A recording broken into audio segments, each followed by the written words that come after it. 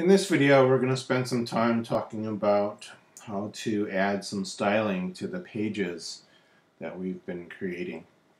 We've spent a little bit of time with Bootstrap and done things like formatted our um, navigation bar. but what I want to do is start doing some things with uh, formatting of the uh, of the different forms and, and the links and buttons and things like that that we've been using, as well as tables.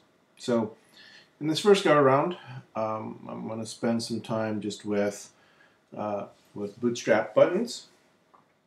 And one of the things that we can do is we can take links, like we have here, and we can turn them into buttons. Um, and then there's also sort of the standard stock button that um, comes with, uh, with HTML and um, and so what we want to do is change the styling of those buttons into something that's more, um, that uses something more like the Bootstrap style. Now, if you go to the Bootstrap documentation, and under these buttons, um, you'll see there the uh, the different kinds of buttons that uh, that you can have, and um, you also see that um, there is a, an example for each one of the, the different button types that's available in HTML. And if we add a little bit of styling using the class tag, um, then it will change the look and feel of those those links and those buttons to something that's more uniform, uh, like we see here. So we're going to do a similar kind of thing with um, our applications and uh, and do this in Rails. And so I just wanted to show real quickly how to do this um, here in Rails. Um, so we'll play around with that a little bit and um, we'll see how, um, how that's to look uh, in our application. Okay, so I'm going to do this. Um, so I've, I've logged in here to this, uh, this application. I'm just going to style these links that we have in, uh, in our app. And here is the source code for those, um, for those four links here. And so I just need to add in um, uh, a class declaration for these buttons. And so let me do that. So let's take a look what we need here. So I'm, I've got a link. These are links in uh, in Rails. And so there's a link to, this is the this is the, the text for the link, and then this is the action. And so essentially what we're going to do here is just add in a class declaration for this, and I'm going to put it here. I'm going to say class button. And this is essentially the same thing that you would put into, excuse me, a uh, um, into an HTML tag um, and using a, um, a class uh, class equals declaration. Here in Rails, um, you use this uh, this format. So this is what I'm going to do. I guess I need, yeah, I have the comma, I guess it would look like this. I am putting this into two lines so that it's easier to read. Okay, so um, if you recall that we've already added Bootstrap to our application. Uh, we did this um, several episodes ago. Um, if you go to um, Views, Layouts, Application, you see at the top the tags that we need for um, the JavaScript part of Bootstrap as well as the link. Um, so we've done that, did that quite some time ago. Um, there's also another thing that has to go there at the bottom for, for JavaScript. So we did that um, some time ago.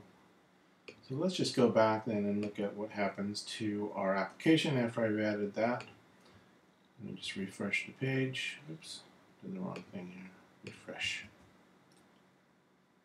So there is our there is our button. now there are a number of different styles of buttons that we could use. Um, this is uh, this is just sort of the default version. So let's take a look at some of the other ones that we could use.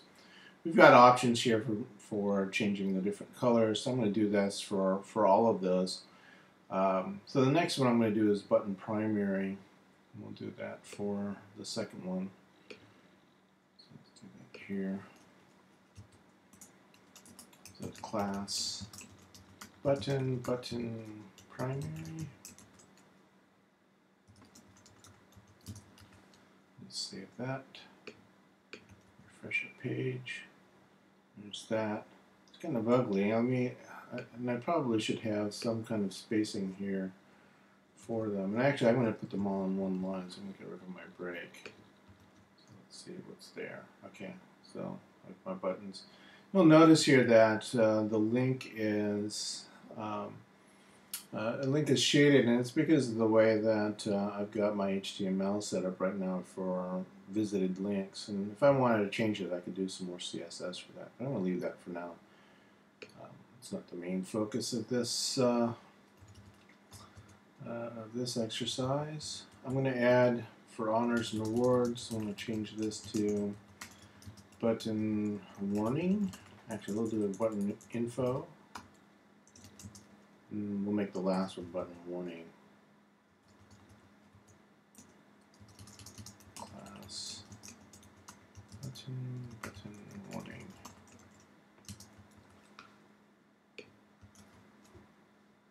Okay, so those are four different types of buttons I could use. Um, I do want to show one other thing here. We can actually change the size of the buttons, so large buttons, small buttons, extra small buttons. Um, and so here are the, um, the classes for those. So I'm going to change these to, I'm going to have one of each of the size. So large, small, and extra small. So button large. We'll have the regular there button small and button extra small. I think I have the right here. Yeah, SM and XS. Let's refresh that. So this is large. This is default size, small, and extra small.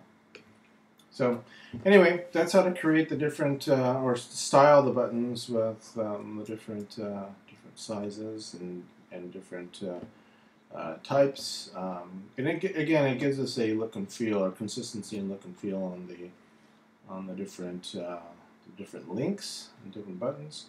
Um, and it is uh, it, it does give you a I, I, think a better um, again a better look and feel. It's one of the benefits of using something like Bootstrap. So anyway, that concludes this video.